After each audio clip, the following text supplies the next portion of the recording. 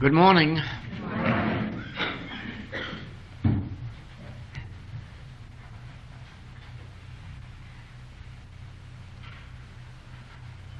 If you will notice,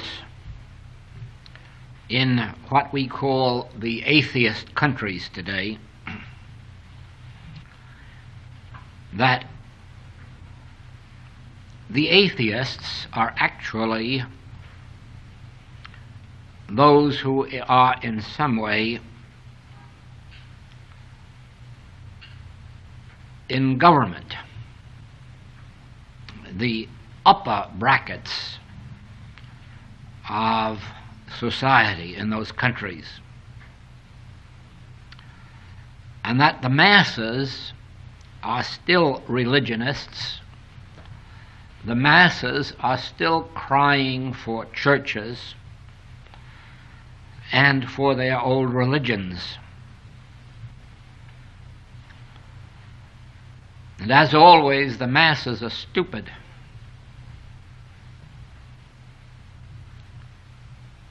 The atheists aren't smart in being atheists, but they are smart in having coming, come to the conclusion that there is no such God as religion teaches.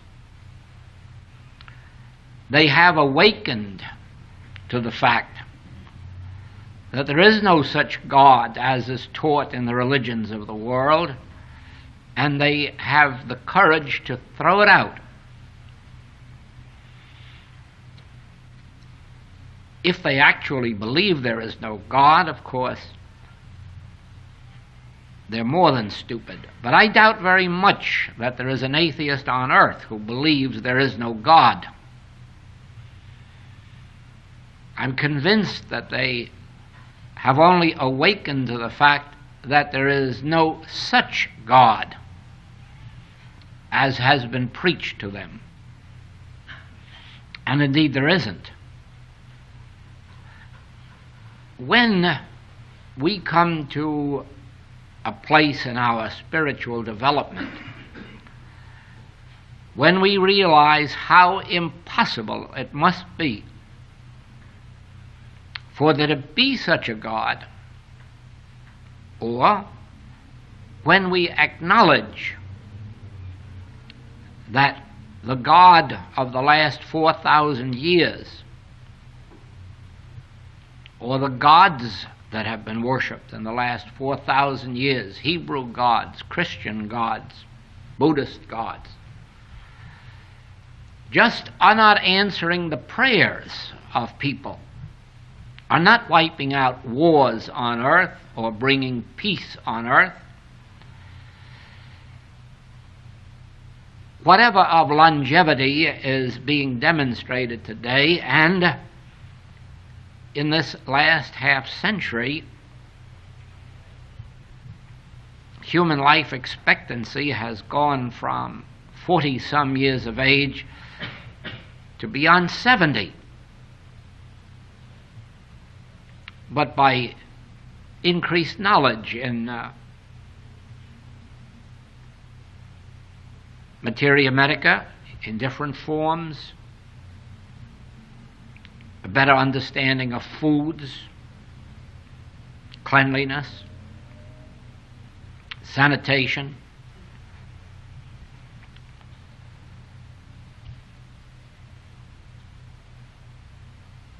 To each one of us, there comes a difficult moment.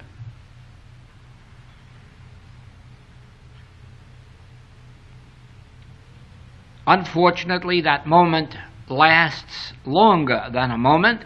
It may last days, weeks, or months before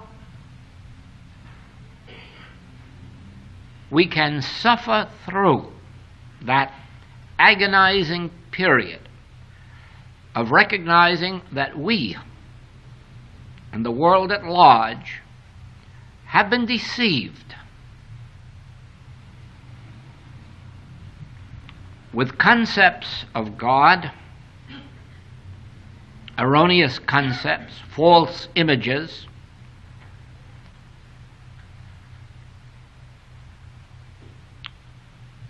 to the extent that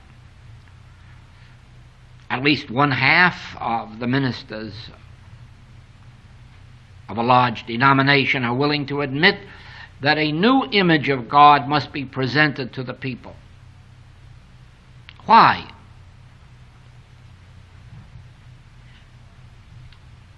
Because that which has been presented has not been God, but an image, and a false image. As false as the golden calf of the Hebrews of old. And as the golden calf had no capacity to answer the prayers of the Hebrew, so the gods of these last 4,000 years have had no power because they were as false as the golden calf. It isn't easy after you have been steeped in centuries of worship and adoration of a false image to come to a place in consciousness when you can acknowledge it and ask yourself, what is God? What is God? Not who. That would be bringing up another false image, substituting one false image for another. But what is God? What is omniscience? What is omnipotence? What is omnipresence? Think for a moment of the word omnipresence. All presence, presence filling all space, presence where I am, whether I make my bed in heaven or whether I make my bed in hell or whether I walk through the valley of the shadow of death, I am in the presence of God. What is that presence of God that is with me in heaven or hell or death. It is even said,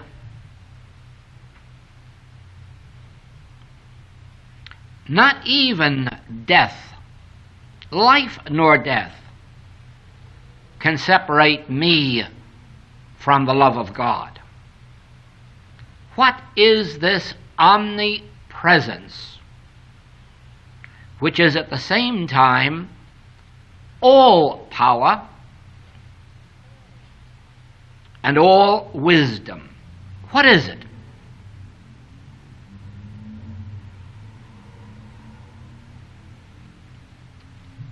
As you can maintain this question in your mind without fear, without fear that there is any God going to punish you for it. As you can divest yourself of faith in that which has never warranted your faith, and seek an answer to the question what is this presence that is always with me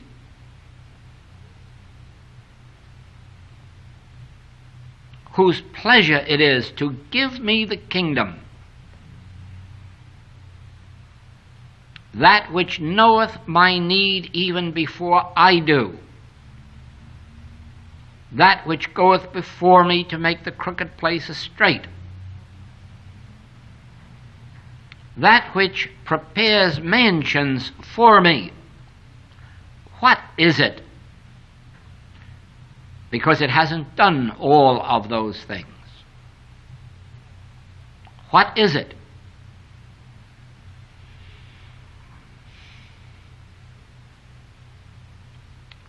It hasn't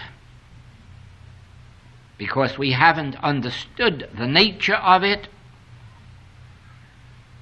what it is, how it functions, and the nature of the prayer that unites us with it.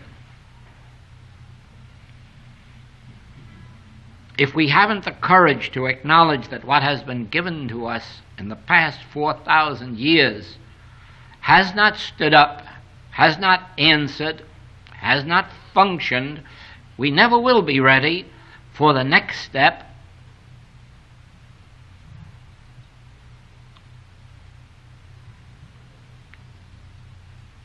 We must empty out the vessel of our false beliefs and faiths and images in order that we may be refilled with truth.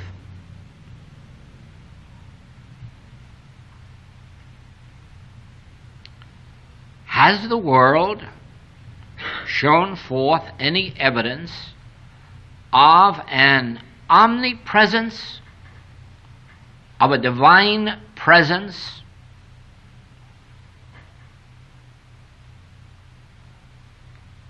an infinite power of good, an infinite power of eternal life, health, wholeness, harmony, peace, abundance. No, not individually and not collectively. Individually, in all ages, there have been some few and some few followers of some few who have attained the wisdom, the understanding, and the actual demonstration of omnipresence. Just because the gods of this world have failed the world, or just because the people of the world have failed the one God, let us not make the mistake of atheists and believe that there is no God. Let us rather acknowledge that we have not sufficiently searched and sought, but rather we have accepted the beliefs, the opinions, the theories that have been handed to us without questioning for ourselves. If freedom has any meaning at all,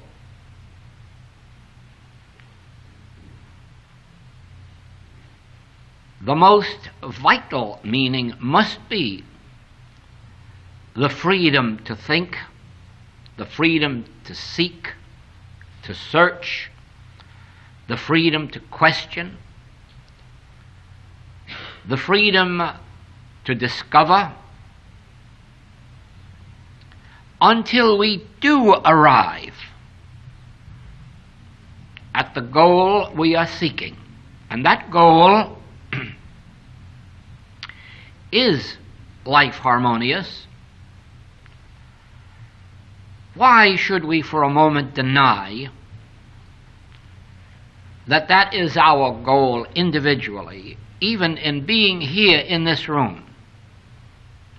Why should we deny for a single moment? Why not be truthful and acknowledge to ourselves and to each other that we are here but for one purpose, and that is seeking life eternal seeking that which will bring peace on earth to all men throughout all time, seeking that which will ensure freedom, so that freedom never again can be at the mercy of man whose breath is in his nostril. Why not acknowledge that our only hope is that we may find that which, in setting us free individually, will prove to be that which ultimately will embrace the entire world and set the world free. Because if someone doesn't find the secret of freedom, how can freedom be given to all?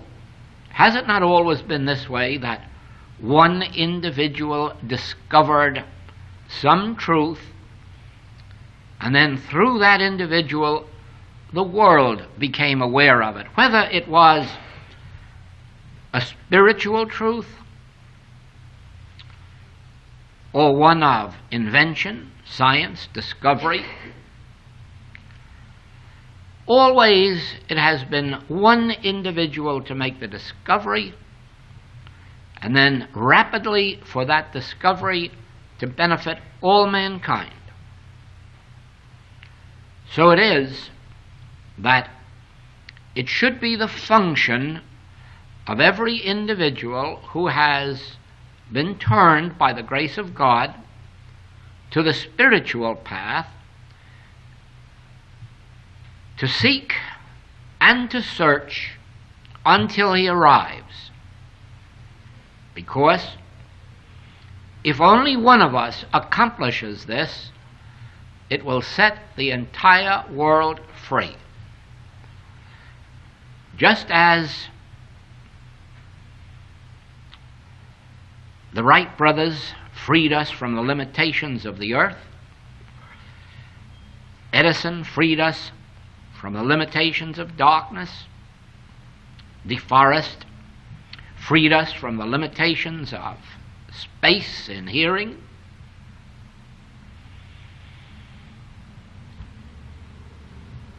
Those who discovered the instruments of navigation certainly have freed us from the limitations of confinement. So, one individual discovering the secret of omnipresence, for this is the word omnipresence. What is it that is present where I am that I cannot see, hear, taste, touch, and smell because throughout all time no one has ever seen it, heard it, tasted it, touched it, or smelled it? Otherwise, it would have been discovered before now. Otherwise, it would have been discovered by others than the mystics who attained it. What is it then that is present where I am? Whether I am comfortably situated here or whether I may at the moment be in some hell of sin, false appetite, disease, age, or even death? What is it that can set me free? And in setting me free, release all mankind from slavery, from bondage to the five physical senses, from bondage to the limitations of the human mind.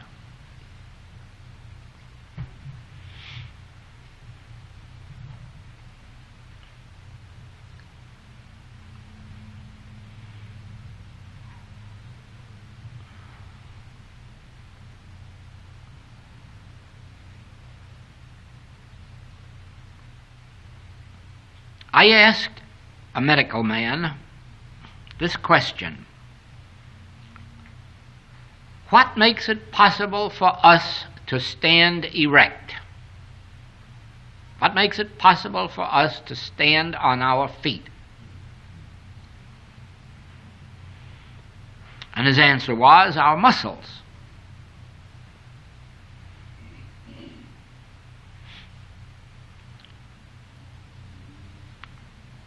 What becomes of our muscles when we faint, when we become unconscious, when we die? Do we not have muscles? Yes, yes, we still have muscles. Then why aren't we standing erect? Or why can we not stand erect?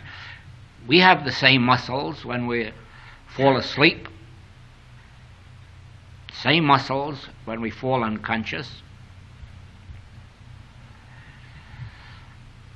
Now this, this answer, muscles, represents material sense because to material sense this is true. We stand because of our muscles. The firmer our muscles, the harder, the longer we can stand. But once you have touched this other realm of consciousness, spiritual consciousness, you will discover that the muscles cannot keep you erect.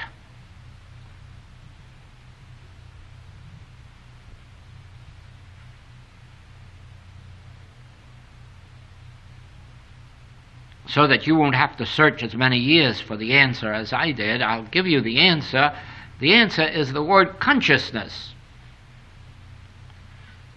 Consciousness enables you to stand erect using the muscles as instruments. There is nothing in the throat or mouth that can speak. You may have all that is therein and not have speech because the muscles of the mouth and throat and lips cannot speak.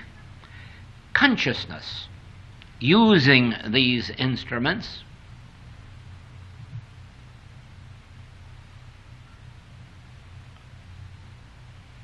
consciousness is the secret of life. Consciousness is the secret word. Consciousness is the ultimate. Consciousness is the absolute. Consciousness is the creative source, presence, power, law, cause. Only when you reach the word consciousness, do you have the entire secret of life. You cannot even have health without having first a consciousness of health. It is for that reason that our work in the infinite way is not demonstrating health for anyone, but rather demonstrating for them the consciousness of health.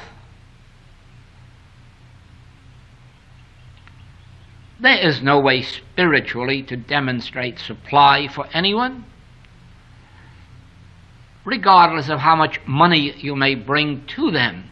It isn't supply because even the largest amount of supply has a way of withering away. But you can bring to an individual or to this world a consciousness of supply, and then they will never lack. Those who attain the consciousness of health have health. Those who have the consciousness of supply have supply. Those who have a consciousness of music have music. Those who have a consciousness of art have art. Now, you may have the same body that a concert pianist has, or violinist, or musician of any instrument. You have the same body, the same brains, the same arms, hand, and feet. You have it all. But you probably will never be a concert musician. Certainly not. Unless and until you attain the consciousness of the mastery of music.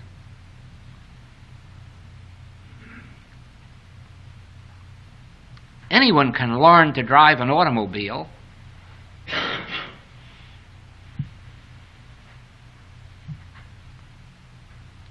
as you can prove by the fact that more people have been killed by automobiles than by wars. But learning how to drive an automobile does not make you an automobile driver, and those accident figures prove it. Not everyone that can change gears and put their foot on the gas pedal and stop a car and park it is a driver. A driver is one who has a consciousness which governs the mind, thought, reflexes of the body. Without that consciousness, you have the potentialities of what happens on our roads. Business, just count the bankruptcies in every year, and you'll know how easy it is to go in business and how difficult to remain in business. Because it takes more than a sum of money. It takes consciousness. Now, the highest form, the basic consciousness, is the spirit. That which gives to us our wisdom, guidance, intuition, direction, that which even gives to us the reflex actions of the muscles.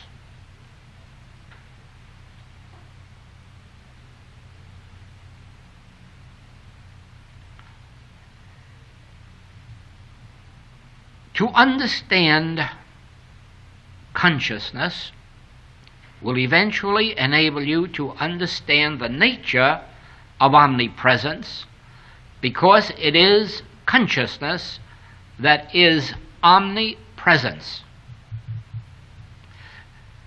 Without consciousness, you merely have the five physical senses and a human reasoning power based on experience. But with consciousness, you have access to the infinite wisdom, strength, power, government of God. The infinite, the eternal, the immortal.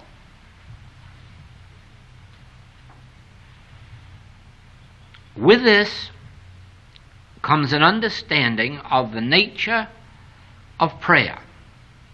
Now, in our sense world, there is a person called I.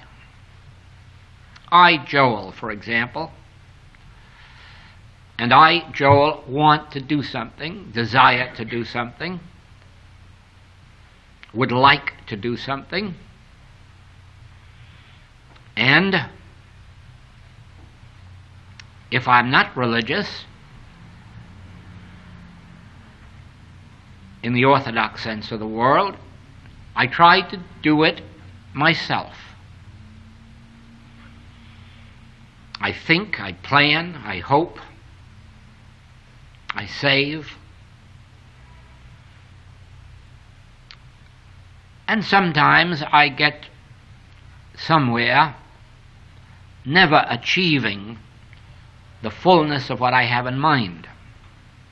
Or if I do, I find it to be unsatisfying, sometimes even frustrating. If I am religious in the orthodox sense, I pray to God to help me. And I actually expect expect that there is a God that is going to help me do my will, get me my way.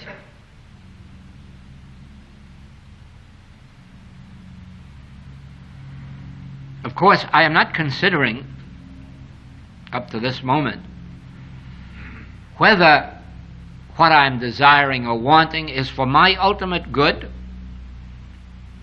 or will enhance the happiness of my family, or will improve the world, or even if it will not in some way harm some who are in the world.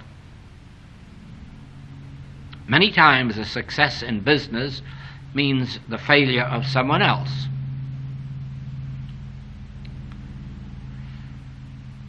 Heedlessly, I pray to this false image of God to prosper me in my way.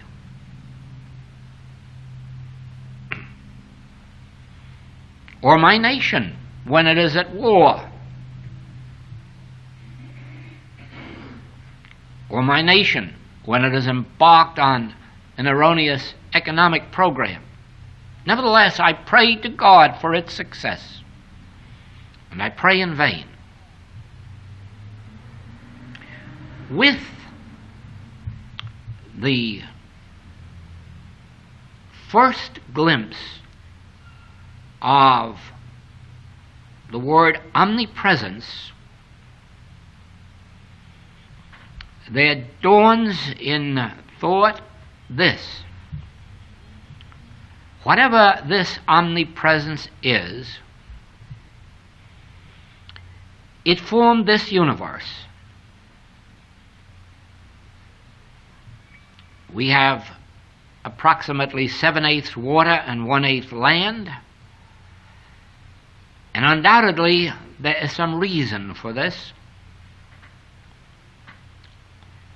The stars, the planets move in certain orbits.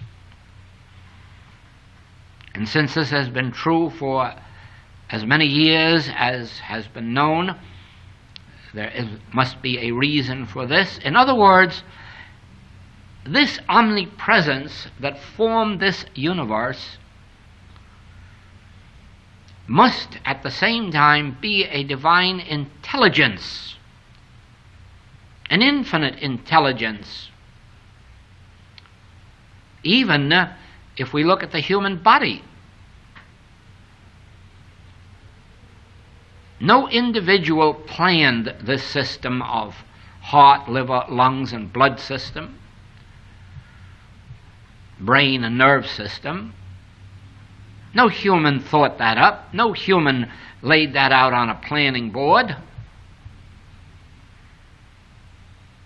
There must be an intelligence that formed this human body.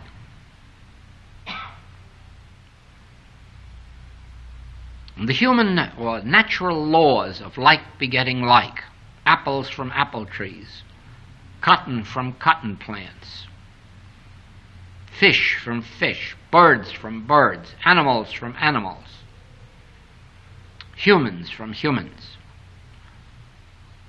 whites from white, black from black, and if you combine them, a combination of white and black. This is law. But man never made this law. Therefore, that which is omnipresence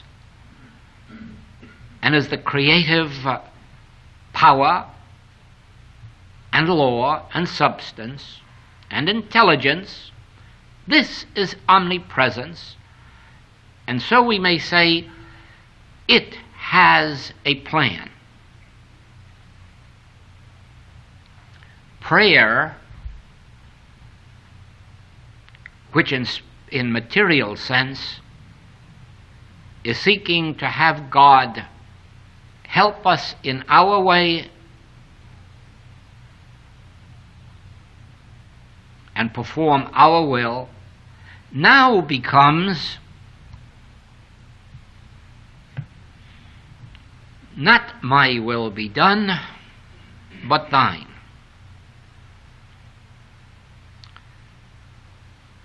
Thou performest that which thou hast appointed for me to do. Therefore, I cannot seek thy help for my way, but I can seek thy help to establish thy way in me, through me. This is the prayer of attunement, the prayer of at one meant the prayer of union with God. You see, you cannot pray to become at one with God, because I and my Father are one. This was the divine plan in the beginning. And that oneness is already established. But, again, the word consciousness.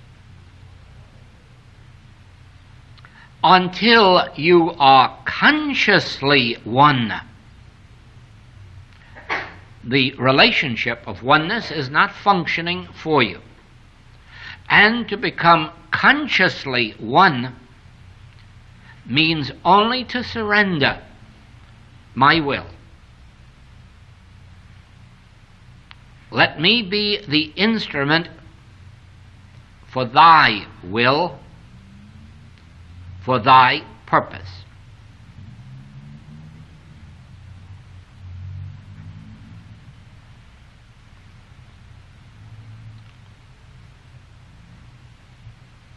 Probably because the sun, moon, and stars can't think.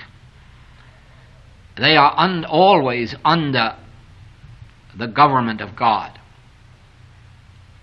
But we think our way into a sense of separation. Get the word sense.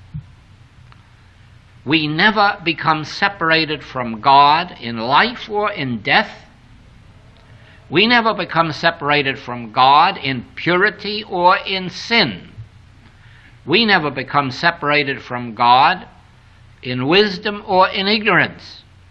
But through taking thought, we have built a sense of separation from God which acts the same as if it were an actual separation.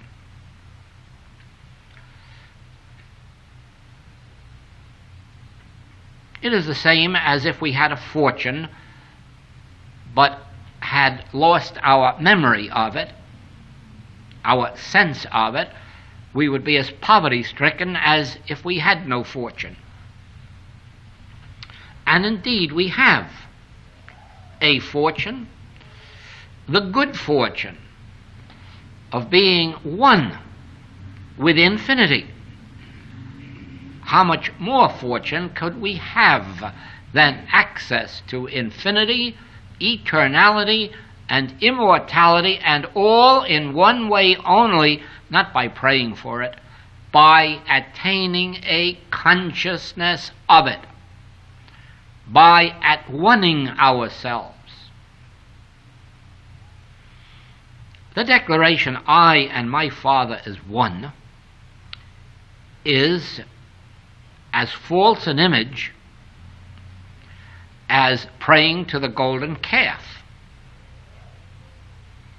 Unless in the declaration that I and the Father are one, I am willing to acknowledge that the Father is greater than I. Never forget that. I and the Father are one but the Father is greater than I. Therefore, as this I, Joel, can release himself of desires,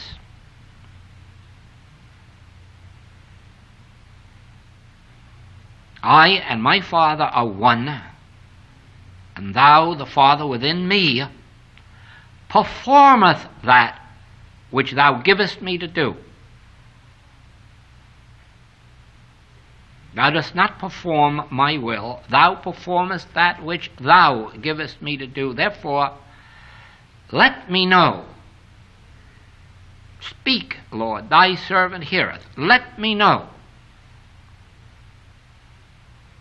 thy will, and I will walk in it. So that I can say with Paul, I live, yet not I. Christ liveth my life.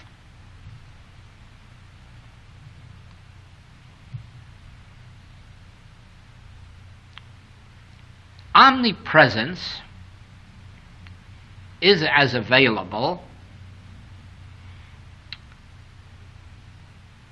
on the highways, on the battlefields, on the seas, in the air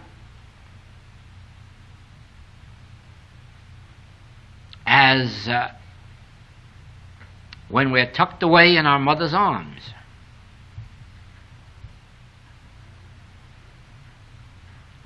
But you see the word consciousness? Here it is again. Unless we are conscious of omnipresence,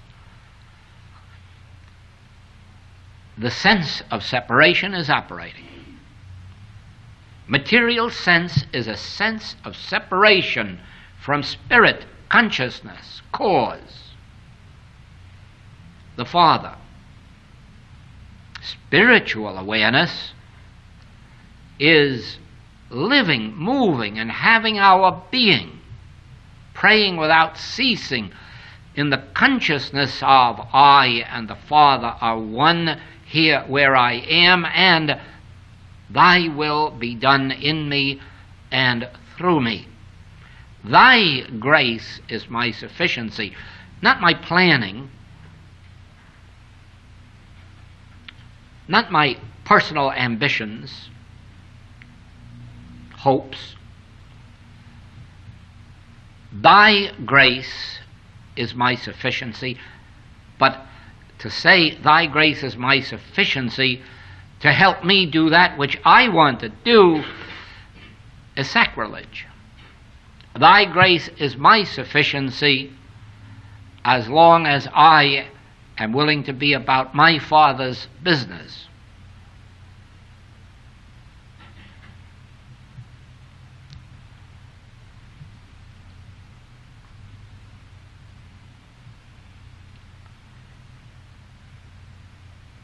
Freedom really has its origin then in our relationship to deity. Because there is no other freedom. There is no other freedom on earth than that freedom which we attain through conscious oneness with our source. It is true, doctors can make us well, and then we can get diseased again.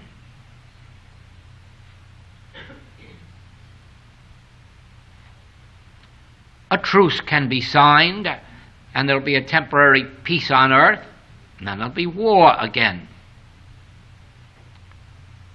Noble men are born on earth, a few, at a given time and they bring to their generation political, economic, and religious freedom.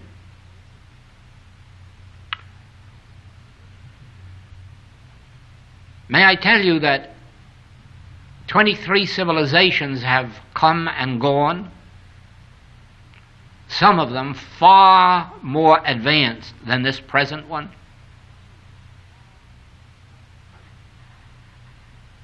No one can give you your freedom except temporarily, whether it's freedom of health, freedom of art, freedom of music, freedom of religious worship, freedom of political freedom, economic freedom. No one can give you this except as a temporary measure. And then not to all.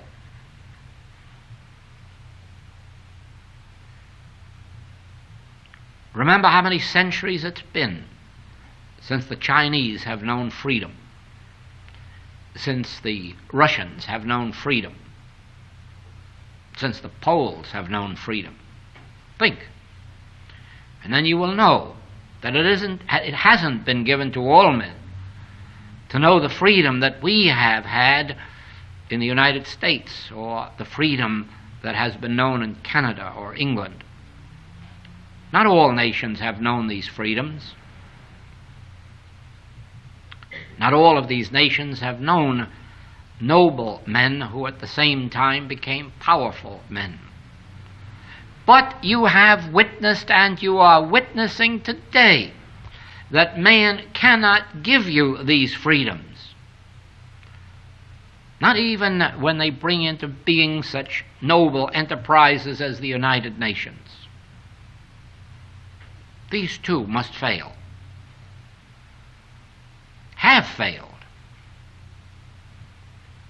Freedom comes through consciously establishing our oneness with our source and giving over our lives to this infinite source.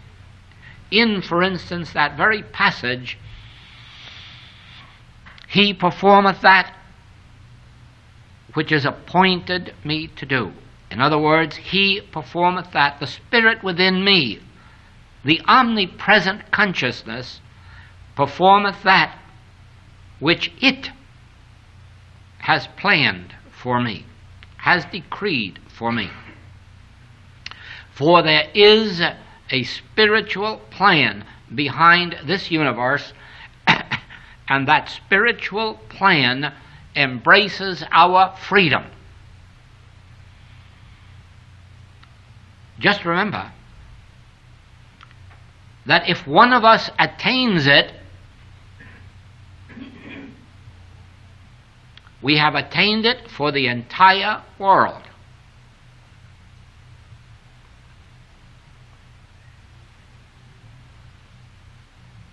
One with God is a majority.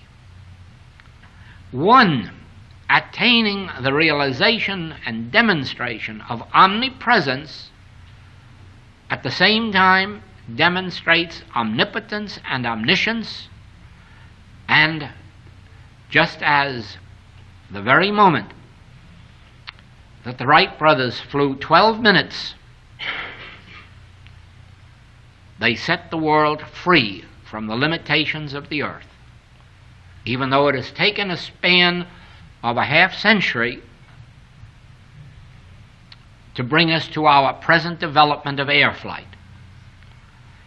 When one attains spiritual freedom, he attains it for the entire world, even though it may take a century for the demonstration on earth of the fullness and fulfillment of this freedom.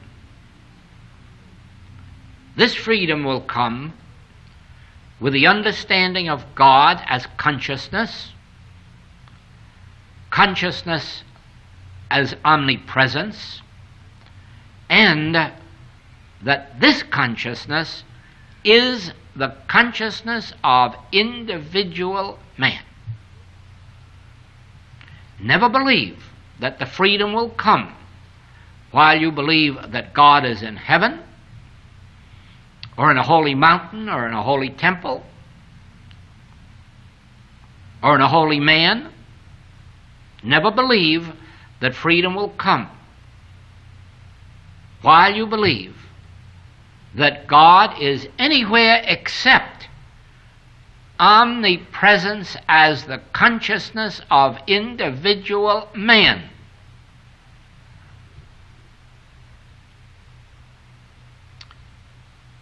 When you are bound by some sense of limitation and turn to a spiritual practitioner for help, the help you get is the realization on the part of that practitioner that God constitutes your individual consciousness. And this sets you free from the universal belief that you are a man whose breath is in his nostril. It sets you free from the belief that you were conceived in sin and brought forth in iniquity. It sets you free from the belief that you are a mortal man with a mortal body. Just the realization on the part of the practitioner that God constitutes your individual consciousness, your soul, your mind, your being, and that even your body is the temple of the living God. This is what sets you free. Now, if this is true, or rather, since this is true, demonstrably true, then do you not see that one individual or two or more gathered together or ten righteous men, only ten, knowing that God constitutes the consciousness of individual man, will set this entire world free because the only slavery there is, the only bondage there is, is this belief that we are man. Man. Mortal man. Insignificant man.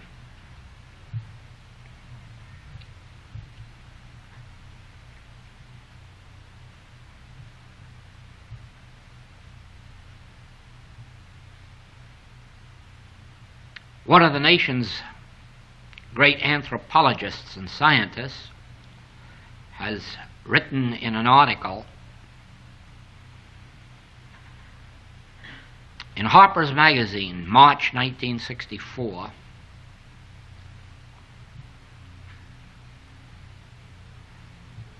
That the limitation is in believing that we are man.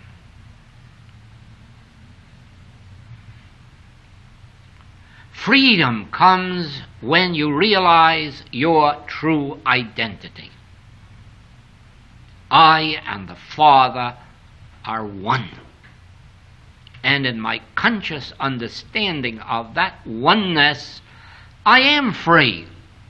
Free from the dominion of man, free from the dominion of sin, sinful appetites, free from the sin of limitation, because in my conscious oneness with God, I hear, Son, thou art ever with me, and all that I have is mine. All that I have. I, I with which I am one, is infinity.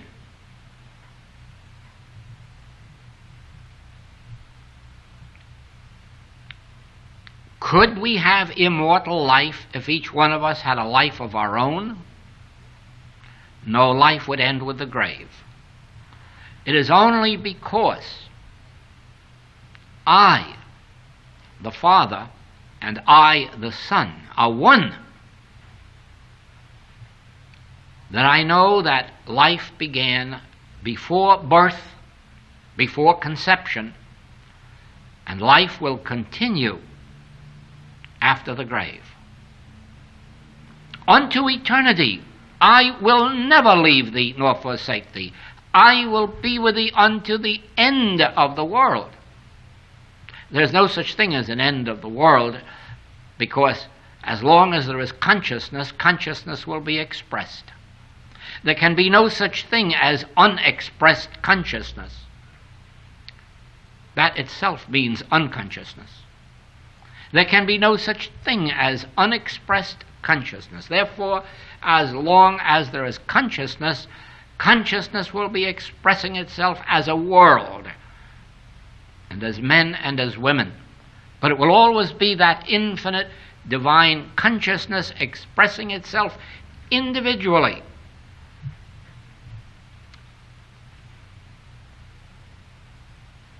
We are dealing with two worlds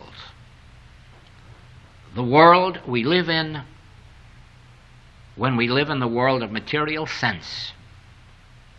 The world we live in uh, when we rise above taking thought into the atmosphere of consciousness and live by receiving, attuning, by impartation from the infinite to the individual.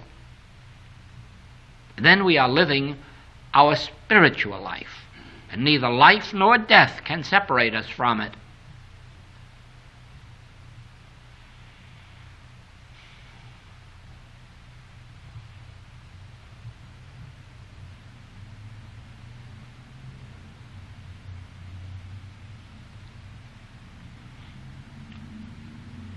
All of this brings to the surface the word fear. All who live in material sense know fear. There are no such things as heroes in the sense of people who do not know fear. there are heroes who perform great deeds in spite of their fears.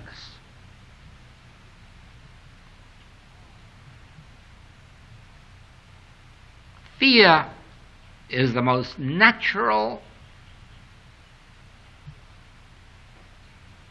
Well, after, after the thought of self preservation, I suppose that fear, no, fear really is the foundation of that law of self preservation.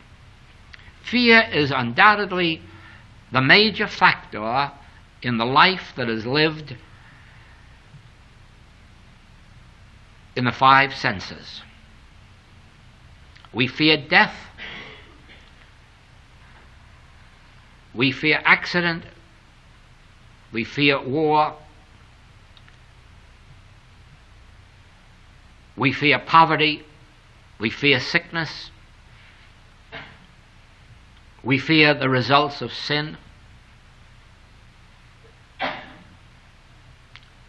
We certainly fear that calendar that's marking off the years. Fear. And freedom from fear can only come through the prayer of recognition of oneness. As long as I and my Father are one, and as long as I am living in a receptivity, I have nothing to fear. Regardless of what human situation or condition may arise as a temporary experience, I still have no fear because I am living in this omnipresence, knowing that since I have no will of my own, I have no doubt that infinity can perform its will.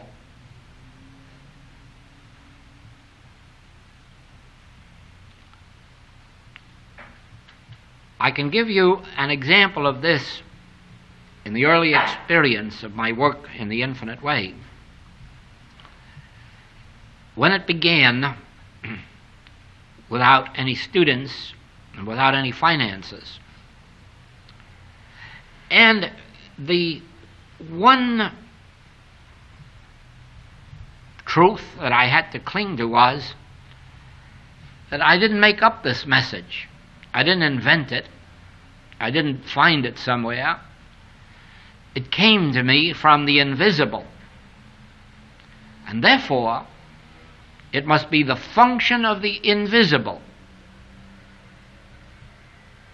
to perform whatever was needful.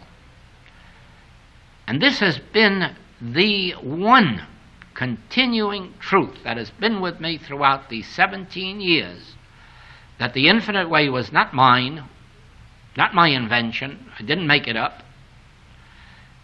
Every principle has been given to me by impartation from within, even those that have been confirmed as age long wisdoms.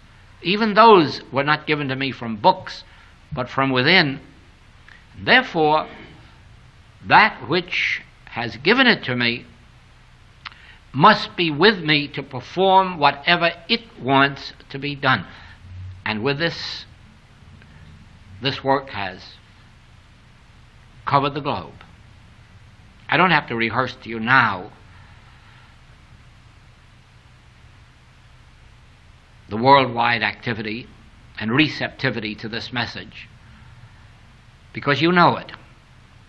But I can say to you that that which is responsible for this worldwide demonstration is the realization that the message came from the invisible, a gift of God, if you will, not to me. God can't have uh, any one individual that it so favors.